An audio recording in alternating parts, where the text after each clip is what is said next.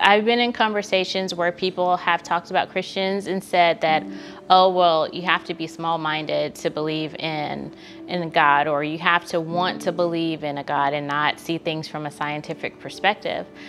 I don't see it that way. I see that God gave us science to help us understand the world around us. Talking to other scientists who think that they know everything can be very difficult in terms of trying to communicate um, something that's very hard for them to believe in. So I think the way that I try to communicate that is the way that I respond to them and the way that I talk to people and the way that I sort of carry myself in a way that is honoring to God because it's not ultimately their approval that I'm seeking, it's His. And so I have to sort of have that separation between try to speak truth, but at least be salt and light in my job.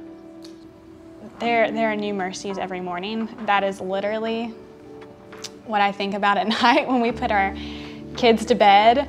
And I'm thinking like there is there's new mercy for tomorrow and knowing that yeah, like my identity and my worth is not dependent on how my kids turn out. To be able to really tell the team, um, look, like we want to be good at what we do. At the end of the day, yeah, we're, we're trying to make money, we got to feed our families, uh, but really have a heart for what you do. Our performance as individuals, as a team, our reputation as a company, uh, and, and the way that we serve our clients, it will improve if we truly have a heart for the people that we are serving.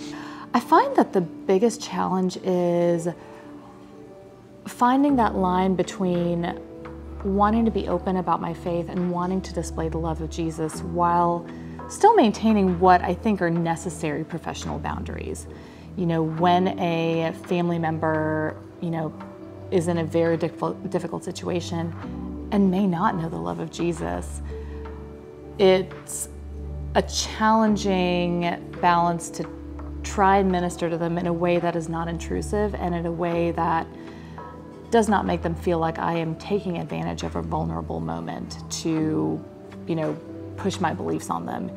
The world that we work in is a constant reminder that regardless of what skills we have as a team and what God has given us, we are not in control.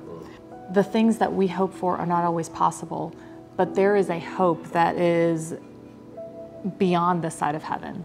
There's a hope that we have in Jesus that gives us a, a, joy that completely transcends whatever may happen, whatever tragedies happen inside the hospital. And so it's just it's just such a natural set of circumstances to really be able to, you know, minister in that way.